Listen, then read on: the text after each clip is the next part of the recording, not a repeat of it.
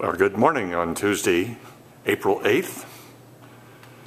We normally debut a boat when she's either completely finished or almost finished with the preservation project by pulling her outside, but it is rainy and snotty outside, so we'll take advantage of the uh, good lights we have in here and introduce you to this 1955 20-foot Lyman runabout narrow strake uh, that is 99.5% fully uh, preserved. All we have left are a couple layers, a couple coats of varnish on the trim boards at the bottom of the ceilings where the ceilings and the floor panels meet. Uh, we have, we're waiting the uh, new impeller for the water pump.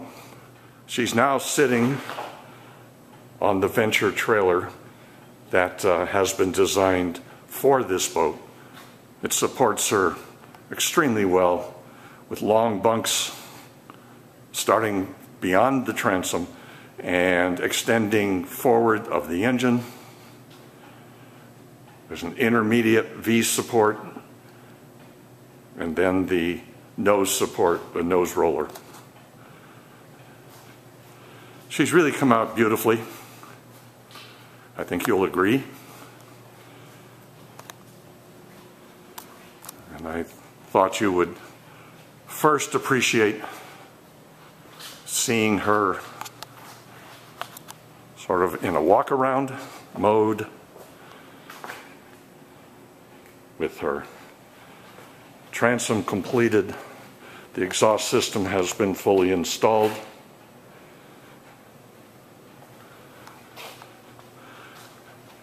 And I think you'll agree that her interior is just fantastic. Just came out so well.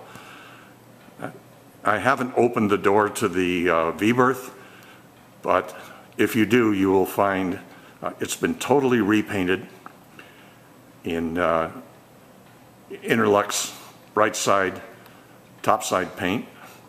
We've put several coats on there, so it's brilliant white in the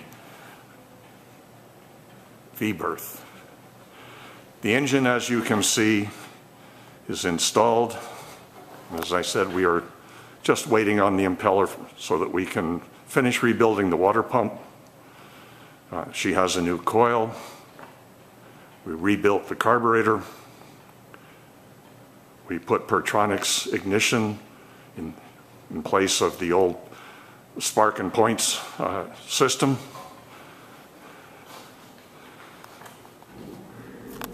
The floor panels are looking rather nice and bright in their brand new Nautilux in natural. Everything inside has been revarnished. The windshields, the windshield is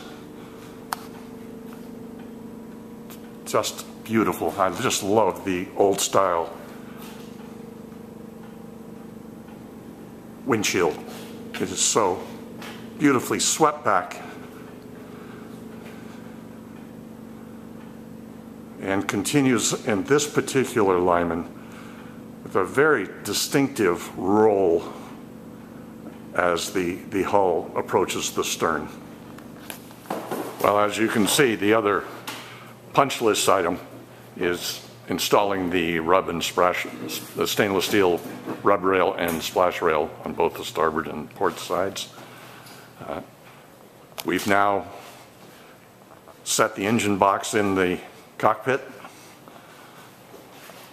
We still have the uh, hinge to affix to the, the lid and the, the engine box. And our upholsterer reports that she's 90% of the way through uh, remaking the seat cushions, seat back cushions, and we're also having her do a cushion for the engine box lid. They will be done in the same uh, Lyman tan. It's a light version of Lyman tan. And a red, but not a fire engine red, uh, that we found on the few pillows that were still with the boat when we dragged her back to Snake Mountain Boat Works.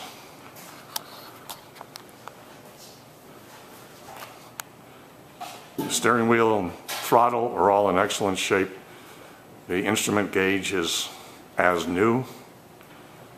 Uh, The gear shift was, lever was, well, it had about 14 coats of paint on it, not unlike the topsides. So I uh, cleaned it all off. It's cast bronze and really looks rather beautiful, I think, uh, in its natural state. If somebody wishes to paint it, that somebody is certainly welcome to do so.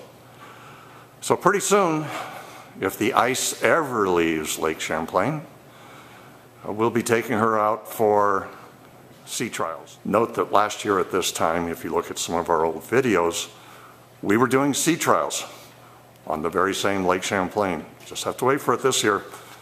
Thank you. We'll be back soon.